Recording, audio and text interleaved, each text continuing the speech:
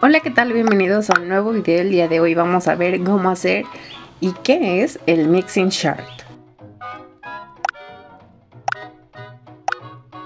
Básicamente es una tabla de mezclas en la que podemos obtener muchísimos colores de una gama muy reducida o muy amplia.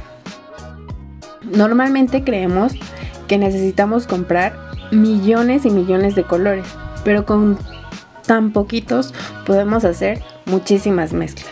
Y esta tabla te ayuda a conocerlas. Por ejemplo, yo hice esta tabla de Mixing Chart con la Sakura Koi de 30 pastillas y en total salieron 900 colores.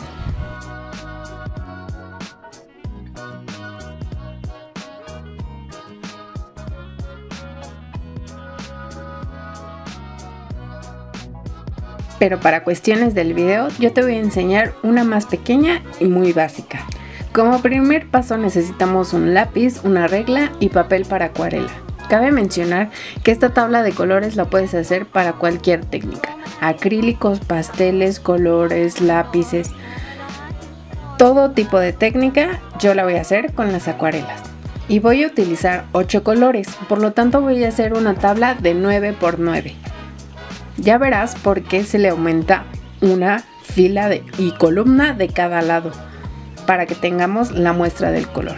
Pero no te preocupes, solamente aumentale uno a la suma de tus colores y vas a ver que al final te va a quedar un resultado muy padre. Yo la hice de un centímetro por un centímetro y pues es muy fácil, solamente tienes que hacer esta tablita uniendo los puntos de cada lado. Pero igual puedes hacerlo a mano alzada, no necesitas hacerlo con regla y con lápiz. Puedes hacerlo a ojo, pero igual depende de tu estilo o de lo que quieras lograr. Igual te menciono que existen miles de formas de cómo hacer tablas de mixing chart o tablas de mezcla. Si quieres saber más información sobre eso, déjamelo aquí abajito en los comentarios y podemos hablarlo en distintos videos. Esta tan solo es una de las formas de cómo hacerlo. Ya que tengas tu tabla lista, yo voy a utilizar 8 colores de la gama neón de Sakura Koi. Y como te mencioné, agregué una fila más y una columna más a mi tabla. Esto para poder tener las muestras y guiarme rápidamente. Si no, tú puedes colocar números o los nombres de los colores. Utilicé un pincel obviamente adecuado para la acuarela y dos vasitos de agua para limpiar y tomar agua limpia. Coloqué 7 muestras del primer color conforme vienen acomodados en mi paleta de color. Y tomé 7 porque obviamente ya estaba tomando 1, que dan el resultado de 8.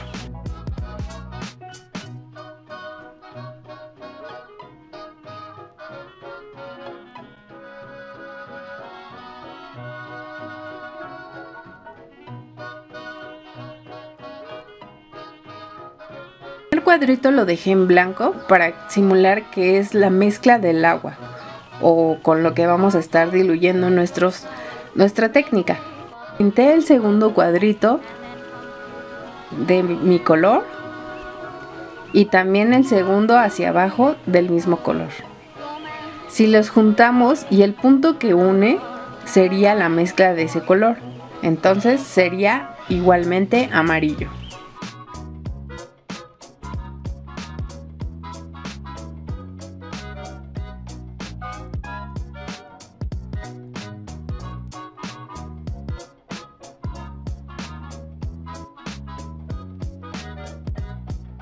Ahora a los 7 puntos que coloqué de ese mismo color, el amarillo, voy a estar agregando el siguiente color.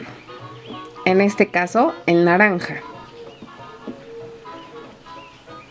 Que lo coloqué igualmente en el tercer lugar de la fila y el tercer lugar de la columna. Sé que suena complicado, pero en el video se muestra mucho mejor y se entiende mejor. El cuadro que conecta del amarillo y el naranja coloqué la mezcla de ese color y también de manera vertical y horizontal.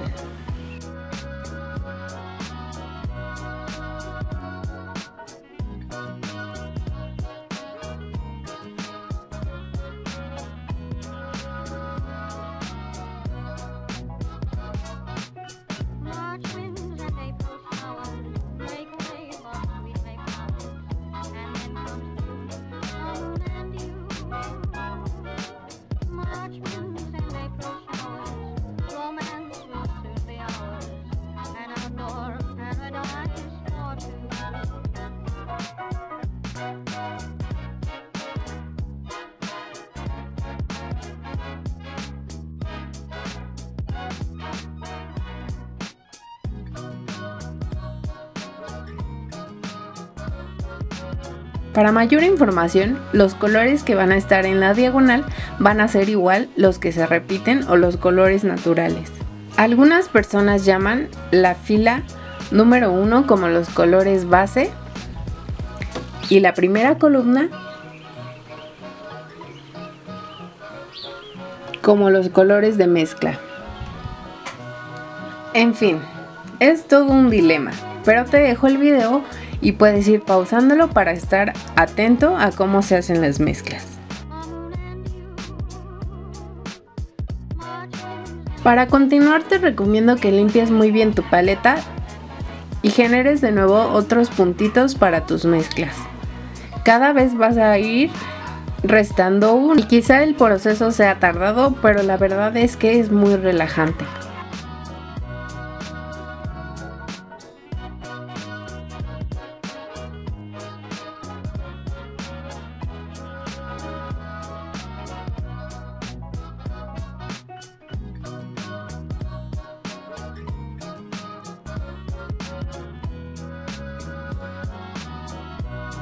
La verdad es que para mí es muy satisfactorio ver este tipo de videos en el que hacen las mezclas y en lo que te das cuenta la infinidad de colores que salen, de colores que ni creías que podrías lograr o colores que mezclándolos jamás te imaginarías que saldría el color final.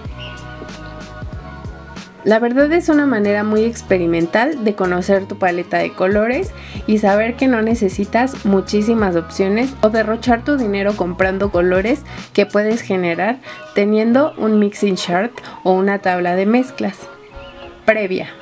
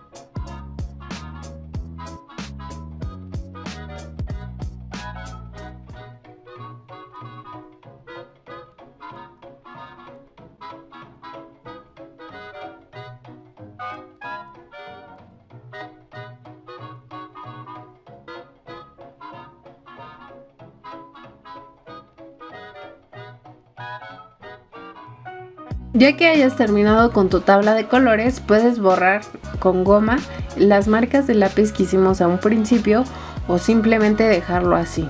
Pero ojo, te recomiendo que esté completamente seco.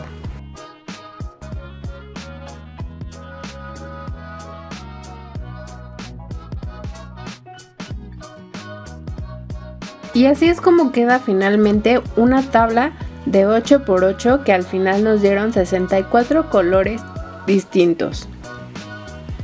Bueno, en realidad sería la mitad, pero puedes aumentar o disminuir uno de los colores y así generar otros colores. Podrías aumentar o disminuir los colores de mezcla o los colores de base y así obtener distintos mixing charts. Te recomiendo que para cada paleta o cada técnica tengas una y así sepas hacer distintos colores con tan poquitos otros.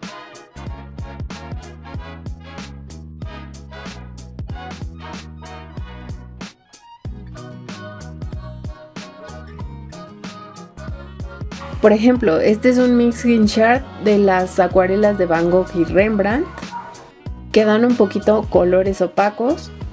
Esta es la de colores neones de Sakura Koi. En fin, es increíble la infinidad de colores que puedes generar y la verdad está increíble porque es un poco de acercamiento a la teoría del color.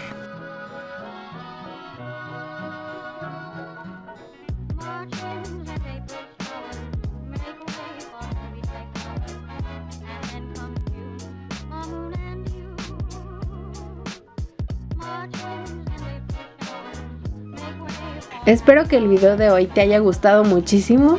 No olvides darle like, comentar aquí abajito qué te pareció este tema tan interesante y tan increíble de hacer y de generar. La verdad estoy impresionada con la infinidad de colores que salen.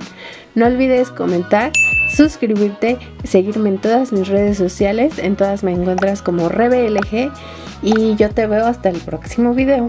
Bye.